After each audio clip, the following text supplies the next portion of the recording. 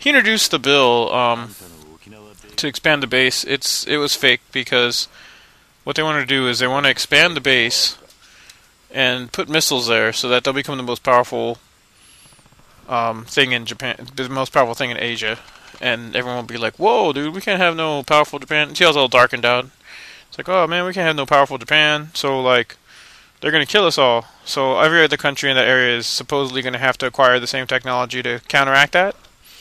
And the only way for them to do that is to go to the black market, apparently, which is where this guy comes in. The, the whole thing was he was approached by the CIA, and um, that's all their plan. They're trying to flush this dude out, this American dude named Richardson. They don't know nothing about him except for his name is Richardson, and um, he runs this thing called the Black Monday, which is like some kind of secret black market goofball nonsense that has all these ridiculous nuclear weapons and stuff. So they're trying to like make him come out of hiding, or like they figure if they introduce this plan, then he'll have to have something to do with it, so that they can go, hey, you know what, like uh, we got you now, you, you punk. But um, you know, it's pretty stupid. But uh, so that you know that's it. And for some reason they're to explain this for forever.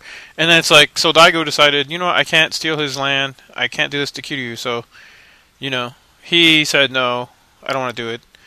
That Toma guy, it turns out, is Okinawan. So he's like, he wanted to see the thing go through because Suzuki would then have the resort plan go through, and then, like, you know, all this, you know, it's ridiculous. All this stuff happens, and all these people want this to go through. Uh, Mine wants it to go through because he wants to make money for the association.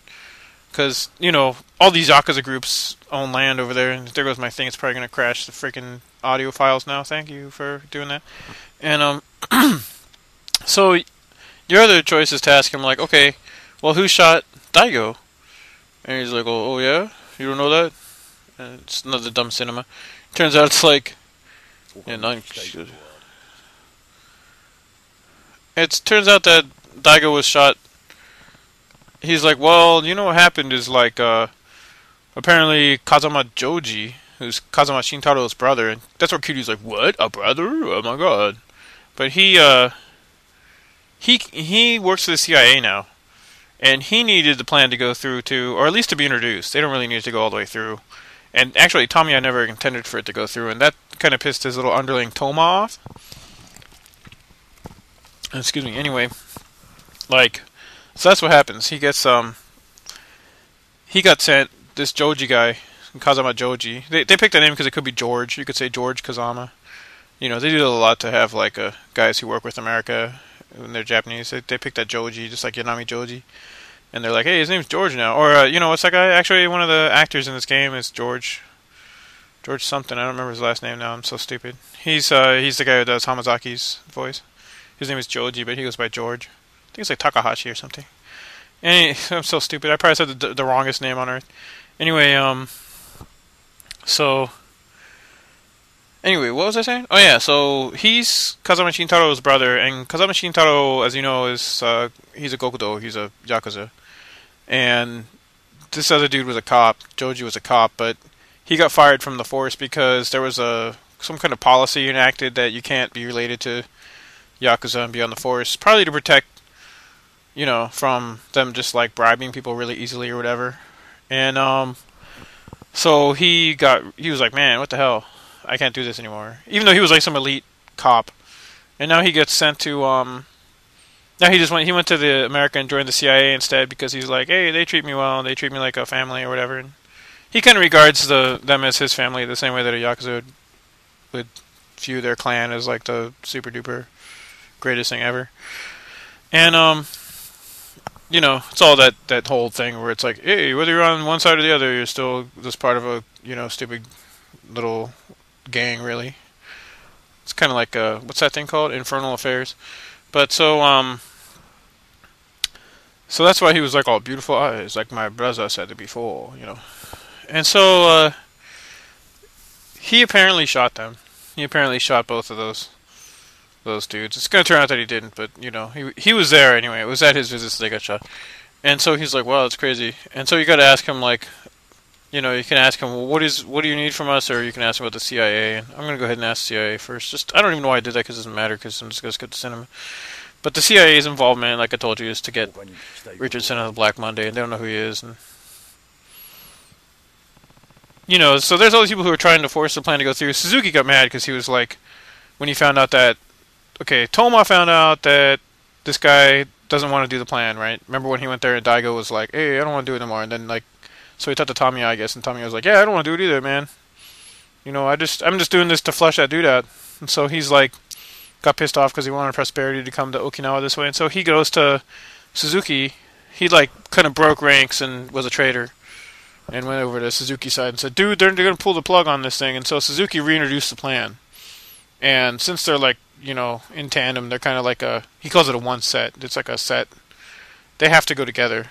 It's like a they're like riders of each other or something. It's kind of like this weird thing where both have to be introduced at the same time. So he has no choice, but he has to go through with his plan even though he didn't want to. And so, um, anyway, his he's going to ask you a favor now. Yeah, whatever. He's going to ask you a favor because uh, that's why I called you here. He needs you to save two people's lives. He wants you to save Kazama Joji. He wants you to save him and stop him from like shooting someone else needlessly for this thing to go on. And at the same time, he wants you to save Toma. Now, there's no doubt that that the CIA is going to move and they're going to put what's his name down there to fight to shoot Toma and kill him. He's he's hanging out in Okinawa right now, just kind of chilling and in one of the bars down there, and he's he sent a actually he's in a meeting right now. I'm sorry, he's in a meeting with a uh, with Suzuki's men down in Okinawa, and uh, Tamiya knows this, so he's like, go down there and like uh, stop Joji from shooting him. And you know, it's like, what you know, Date's like, well, didn't he friggin' go against you? Who cares? And then you know, dude's like, well, nah, dude, he's he was my underling, and even if he betrayed me, I gotta watch after him. And Kiryu's like, yeah, this guy's old school, good dude, you know. So that's all that happens. Then like Suzuki finds out that you're there meeting with him, and so he sends he sends over his secret police, which is you know that's totally believable that there'd be a billion secret police outside the outside the cap the little Capitol building. Oh yeah, oh yeah, he asked about Mine too, because Mine is the guy. And he's like, "What the hell's going on with this Mine clown?" And he's like, "Oh, that dude."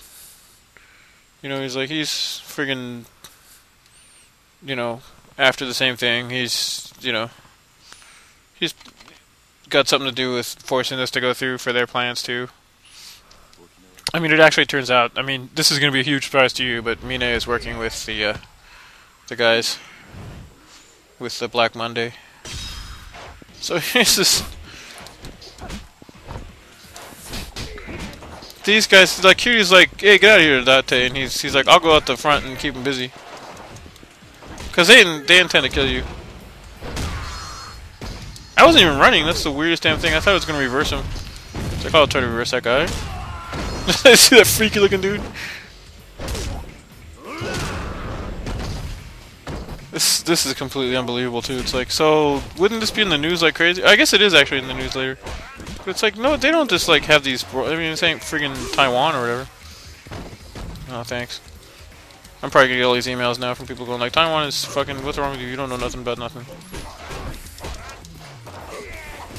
Man, you guys are pissing me off so much. Look at this. Man. Okay, uh, you know what? I'm tired of this. Oh, I'm on steps. You can't... One tip about the whole series, you can't grab anyone while you're on steps. Get off of me, you punks. Jesus Christ. Don't remember this fight ever being hard. Just fucked up my microphone again. What the hell? What? You stunned me or something?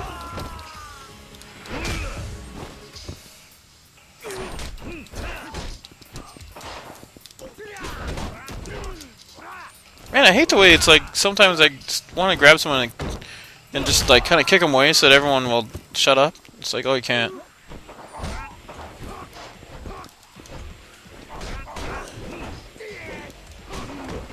Come on. How'd that guy even reach me? Damn, I fucking finally do something? Wow, look at the, look how much damage I just took. I'm gonna die in this really crappy part of the game too.